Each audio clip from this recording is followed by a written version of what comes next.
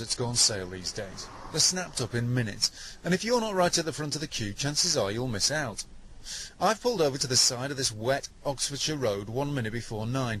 I'm after some tickets for a Def Leppard Whitesnake gig, but like many of the people I'll be competing against, I can't stand either of the bands. Like them, all I care about this morning is getting my hands on the tickets, then seeing how much profit I can make by flogging them on to genuine fans. For one time only, I'm joining the ranks of the 21st century touts.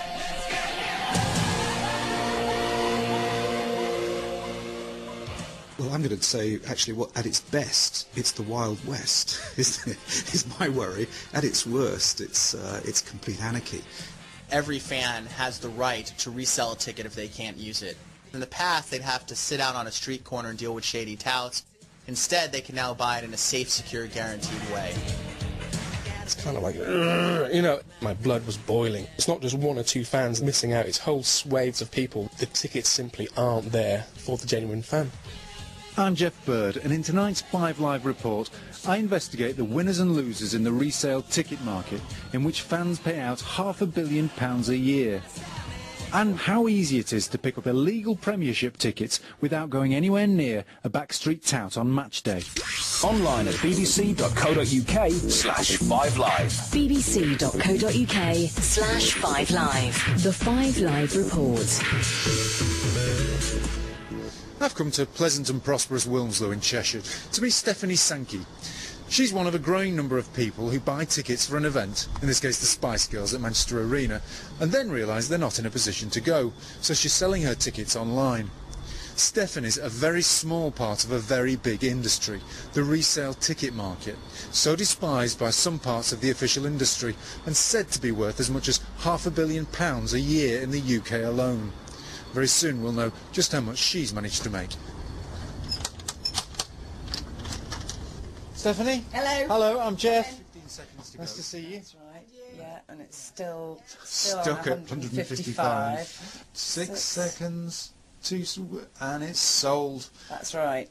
It's uh, not a massive profit, but then I wasn't out to make a profit. At least I've I've sold them and I've got my money back. So You've you've resold four tickets then, uh, two at a time. You've made overall a, a profit of hundred pounds, but you didn't really you didn't set out to make that profit. You just really wanted your to cover your costs. Uh, Yeah. But nonetheless, you've you've made that money. But do you regard yourself as a, as a tout? no, not at all. Um, I'm definitely not going to live off a hundred pounds, and it's not a regular occurrence. And my tickets are totally genuine and above board, and I'm not louche or sleazy or you know dodgy looking or anything like that. And what about the principle in, in terms of these people deliberately setting out to, to buy tickets and then sell them on at a profit? Well, it doesn't.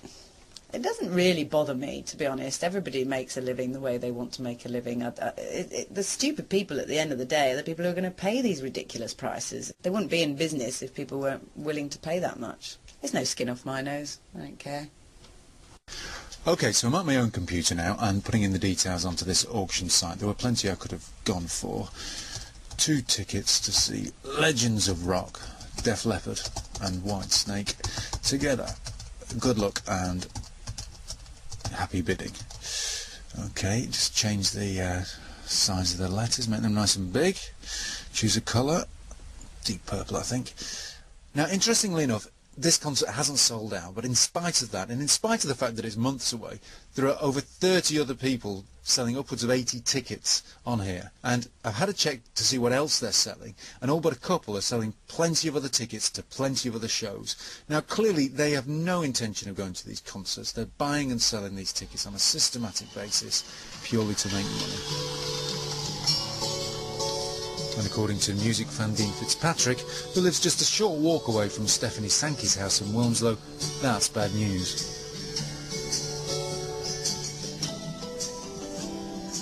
So this is a, a live album, obviously.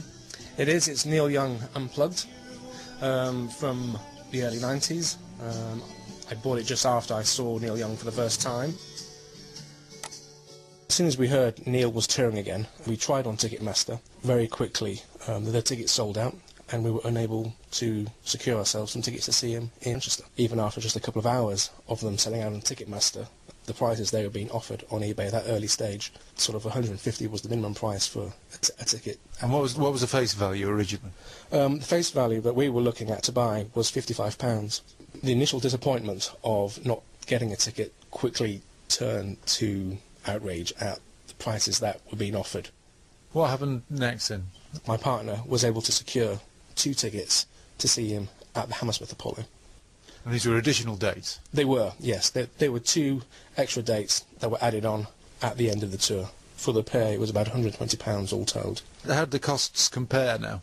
Well, obviously, the prices we've paid for the tickets and travelling down to London, it's going to cost us in, in the region of was £200. It's still going to be cheaper than paying an eBay price ticket to see him 12 miles away. I fundamentally don't know how this situation arises and how people are able to buy tickets in, in such numbers and then almost immediately offer them to genuine fans for super inflated prices. Tickets are just sucked up by these people, organisations, I don't know, but you know, the, the tickets simply aren't there um, for the genuine fan. It's, um, it's a horrendous practice. There are two distinct parts of the secondary market.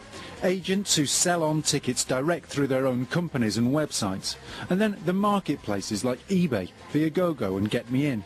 These don't buy or sell. They provide a space for people with tickets to meet people with the money to buy them, then take a cut of the transaction.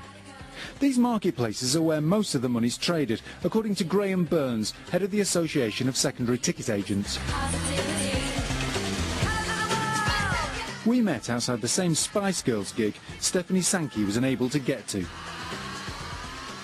To date, at the Spice Girls tour, this is the 23rd of, of January, the total value of sales in the secondary market is £7,337,000 worth of tickets.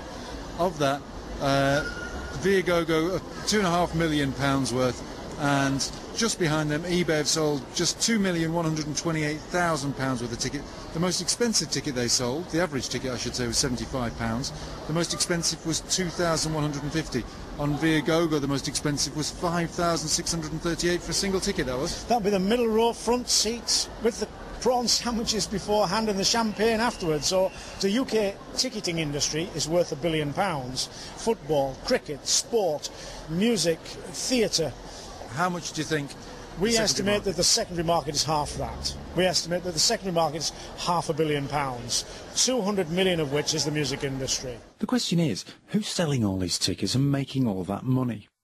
Ticketmaster, the main primary ticket agency, told a recent government select committee inquiry about highly organised touting operations using sophisticated computer technology and call centres to bombard ticketing websites and phone lines to buy up a large proportion of tickets as soon as they're on sale. Meanwhile, marketplaces like eBay argue the vast majority of sellers on their sites shift just a handful of tickets in a typical year. It is, they loudly proclaim to anyone who'll listen, just lots of Stephanie Sankeys passing on tickets they bought in good faith.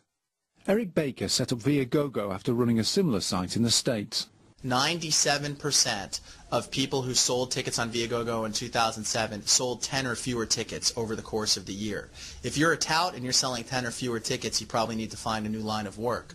The question there, though, is um, if, if those 3% are selling 100 times more than that, then you quickly get a, a different picture of the market where a very high or a significant proportion is in the hands of a small number of people.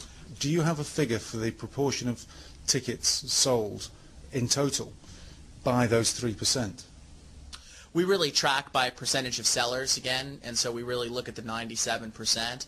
10 is not a high number, so you know it would rapidly increase to 100% if you went slightly above 10. Well, it's not a rubbish.